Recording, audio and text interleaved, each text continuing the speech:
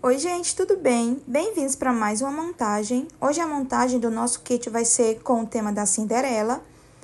E aí já começo posicionando o meu carpete no chão e já vou dar uma dica é, de você montar o arco fora do carpete.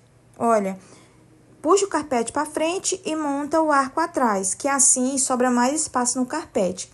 Esse carpete acompanha os kits, né? Meus kits Peg Monte, ele é 2 metros por 1,5 e fazendo dessa forma, é melhor que fica melhor para posicionar é, os móveis em cima do carpete, tá?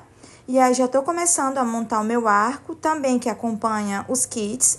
O arco, depois de montado, fica até 1,80m de altura. O círculo é 1,5m. Aí, ele é só encaixando as peças nele, né? E na parte de cima, para encaixar o arco, dá uma pressãozinha para baixo e encaixa ele e assim o círculo já se forma, tá? Já tirei o cilindro um de dentro do outro, também que acompanha, né, o kit Peg Monte.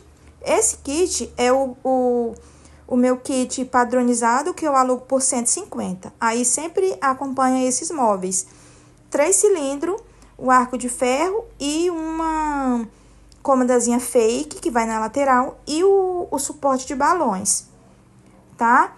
Então, começando a montagem, né, com o meu kit de 150 para vocês, né, ter ideia de como que faz essa montagem. E eu já vou dar outra dica. Na hora de colocar as capas no cilindro, é importante sempre estar tá puxando ela bem, para ela ficar bem lisinha, não ficar aquelas marcações do tecido, sabe? Porque no resultado, depois na estética do kit, depois de montado, fica bem mais bonito.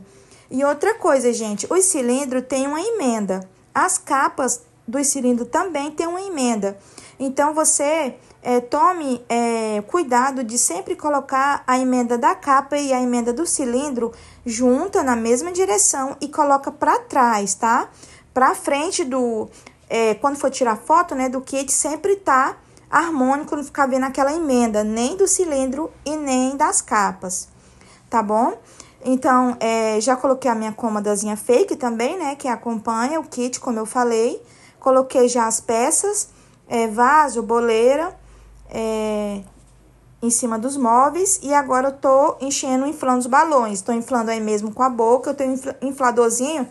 Mas como só são 10 balões, eu tô inflando mesmo aí, sofrendo, inflando com a boca, tá? Aí, gente, eu também mando os 10 balões. Geralmente eu mando 12 balões, que é pra colocar aí nesse suporte.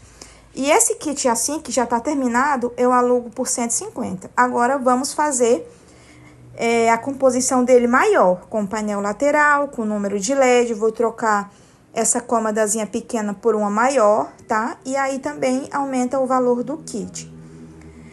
Aí agora já tô é, arrumando, né, o painel lateral, o romano esse.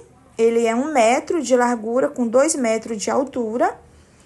Ele também é todo de encaixar de ferro, assim, é tudo praticidade para mesmo facilitar a vida do locador, né? Do meu cliente que vai alocar o meu kit.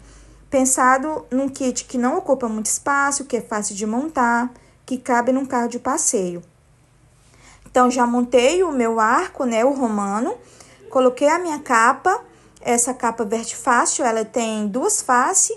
Um lado é um azul clarinho e esse lado da frente é o rosa. Aí eu resolvi usar o rosinha, né? Um rosa bebê é, que é para combinar com o tema, né? Eu acho que ficaria legal, que nem é a composição da mesa, de vaso, boleira. Também usei essas cores, foi azul, né? Azul clarinho, rosa e dourado, que eu acho que combina com o tema, que é o tema da Cinderela.